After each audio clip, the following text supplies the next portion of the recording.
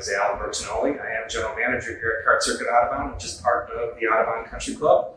We're going to be shooting a series of videos on kart setup and kart maintenance. We'll be covering several aspects of the go-kart, like your carburetor, your clutch, the front end of the go-kart, and other aspects of the go-kart that will optimize and maximize the performance of your go-kart. For today's video, we're going to be shooting a video on how to maintain your carburetor and clean it, disassemble, reassembly. It's very critical that you maintain your carburetor and clean it out very frequently as today's modern ethanol fuels uh, are not very kind to the carburetor or at, at other aspects of the go-kart. The type of tools that you're going to need for today's video are two 10 millimeter box head wrenches, a flathead screwdriver, and a Phillips head screwdriver. So for today's video, let's hop to it and get into the carburetor maintenance. So the first step is very simple. You just need a flathead screwdriver to actually remove the air filter. Just turn it counterclockwise. Actually remove the air filter right off. You can set it in the seat. The next step would be to actually remove the slide and the throttle cable. It's just a twist cap on the senior cart here. The junior cart will also have a locking ring on here, but for today's video, we're just doing the senior cart. Be careful as you pull this out though, because there is a spring in here and there's a cable. So as you pull it out, you'll notice the slide, the spring, and the needle all come out together.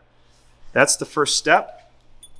The last step would be to take two 10 millimeter wrenches and loosen the actual carburetor here. You're going to need two 10s, and you'll just remove that on both sides here, one on this side and one on that side. So for today's cleaning, and for most cleanings, you'll probably want to remove the slide and the needle assembly. Um, this kart's been sitting for two years, um, so it's a perfect candidate for cleaning. The actual slide itself is very sticky because of the ethanol in the fuel. You'll notice there's green on the needle. The needle should be perfectly nice and silver.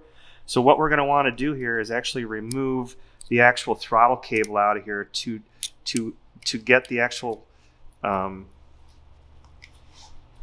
uh, yeah, it should come out easy, but it is gummed up. You'll notice, see how the throttle cable came out of there? but it, it is very sticky. Once again, this thing needs a really good cleaning. So this is a perfect candidate for a carb clean. So now that we have the carburetor removed from the go-kart and I have it on the bench here, I've already pre-moved, I have the carburetor upside down so it sits nice and level.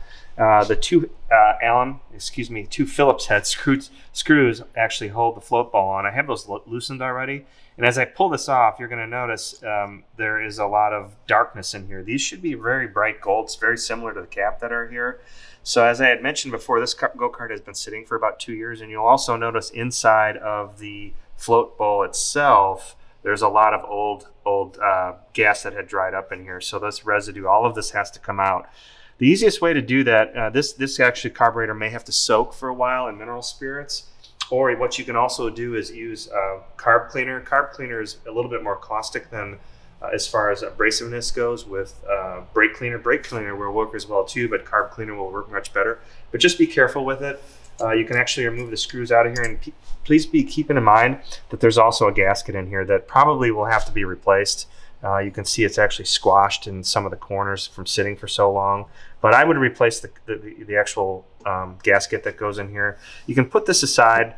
Um, what we're actually going to do at this point in time, you'll notice many of the components in here need a real, very good cleaning. They need to be soaked in carburetor cleaner or some sort of caustic cleaner of some sort. And it's very simple. Once again, you're going to have to use a flathead screwdriver. This is the main jet. You have to pull that out. Uh, it's very simple. Just unscrew it. It should come out. Oh man, that's pretty cool. That's, this one came out very easily. I wasn't sure if it was going to after being uh, in there for so long, but you'll notice how dark it is. It should be bright gold. Uh, the emulsion tube as well comes out with a seven millimeter Allen. You can just take that out as well. Pull all of this all of this out because all of this this stuff actually fuel flows through these air, and the needle sits in this as well too. So you'll have to pull all that out. You'll notice it's very hard to see on camera, but there are very very tiny small holes in here. Um, all of this is going to have to be cleaned. Uh, this actual tube should come out as well too. All of these parts need to be cleaned. Uh, the easiest way to clean these carts is actually soak them. Uh, I would say soak them at least overnight. Now, keep in mind that you're not always going to have to do it this to this level, but this cart and this actual um, carburetor had been sitting for a couple of years. This is not stuff that you're going to have to do on a normal basis. If you're racing your cart frequently, or if you're wanting to clean it or just making sure it's clean, You can remove these parts, spray some carburetor cleaner or brake cleaner in there and reassemble the carburetor. Now there's one final step I'm going to show you as well too. That's the actual removal of the float needle. There's a pin that actually holds this in here. You can just poke this in here if I could actually find it. You'll notice it comes out one side. Just hang on to it with your hand. Keep your hands on the float floats themselves. You can take that out, and as you lift this out here, be very careful because the actual float needle here, this this part here, is sitting on a wire. And as you pull this forward, you can actually take it off. So it actually slides in and off off of, off of the floats, very simple. But once again, all of these components need to be cleaned. Uh, the floats themselves look pretty good in this cart, but I would they are a little bit sticky. I would still clean them. But this part itself, I would either replace on this particular carburetor because it is sticky, or just do a very good cleaning on it. Now that we have the carburetor body fully, pretty much fully disassembled, um, what you can do is actually soak this entire body in here. You could actually get a little bit further into this, but for purposes of what we're trying to accomplish here and getting this cart running properly, um, you can actually soak this whole body of, in either mineral spirits for uh, this carburetor. I'd probably soak it for a couple days to actually get all of the all of the goo out of here um, and all of the rest of the components. Um, one of the things that I wanted to show you here is the difference between what we had here for a cart that had been sitting for a while, the carburetor. Now you'll hear, here's one that's completely reassembled. It's very clean. You'll notice how nice and clean the components are. The floats bounce up and down very nicely. That's nice. The gasket itself adheres very good to, to the cap itself. Um, all the components here work as they should.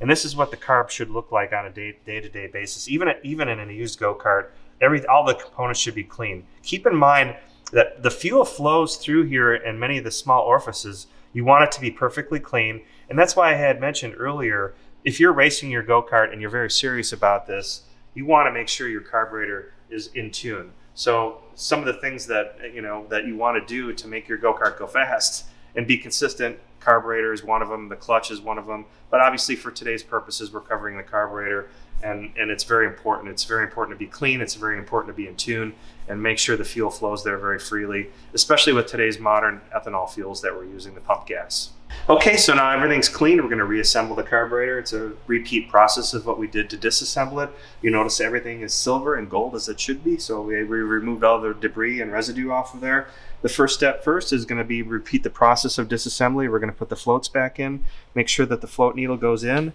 and then there's a hole over here for the rod to go in. It is a little bit tricky to get in at times, but once you find it, it goes straight in. That's the first step. Make sure it bounces up and down very freely like this one is. Very good. Next step is to put this emulsion tube in here. Flathead screwdriver once again. My hand out of the way. You want to make sure these are pretty snug, but you don't want to damage them. Just get them good and snug. The emulsion tube goes in. That is a, once again, the 7 millimeter box end works fine for that. That, nice and tight.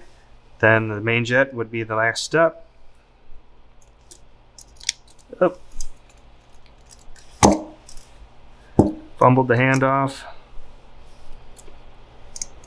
There we go. My hand out of the way. There we go. Last step would be actually be to put the float bowl cap on. The easiest way to do this to keep the gasket now, you notice this gasket is nice and new in here. The easiest way to do that is actually just get the carburetor, tilt it over like that, make sure it goes on. And there you go. So what we do is we, the last step would be to button up the cap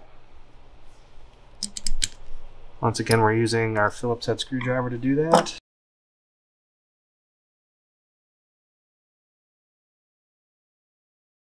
You have a clean carburetor, it's ready to reassemble onto the actual go-kart. And once again, that's a repeat process. And we'll show you that in just a minute.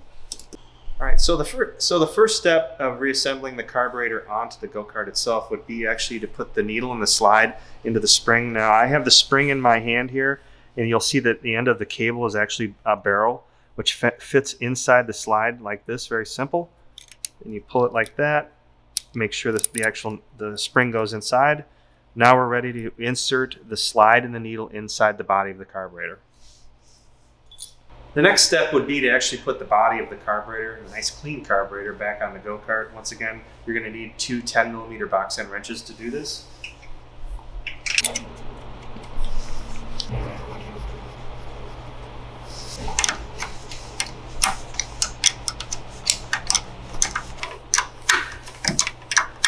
So the last step is to actually put the slide the needle with the cap on there. We're also going to insert the fuel line on the back and then we're going to put the breather hose on the bottom and actually put the, the actual uh, air filter on the bottom.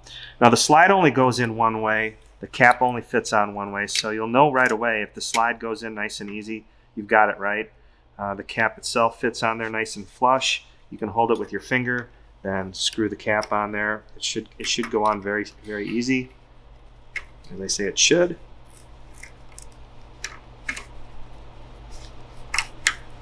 There we go. What you want to do once you get that on is you want to actually go and push on the gas pedal to make sure that the slide goes up nice and smoothly. I'll do that real quick. Oh yeah, perfect. Uh, the last step here would to be actually put the fuel line on here. Um, then the breather hose on the bottom. There's a little clip on there. And then the last and final step would be to put the air filter back on. Uh, once again, it's a flathead screwdriver. It should it should go right onto the carburetor very easy, like that. You're gonna need another flathead screwdriver. Tighten the air filter. And there we go. We've actually completed a full cleaning of the carburetor on our Briggs & Stratton LO206 engine on top of the actual Margay Ignite chassis and cart. Um, the cart now will run good. It will run clean. Uh, the fuel should flow through there perfectly, and uh, we'll have a fast race car. Thanks again for watching our uh, series on cart setup. Today we covered carb cleaning, and follow us on social media. Thanks very much.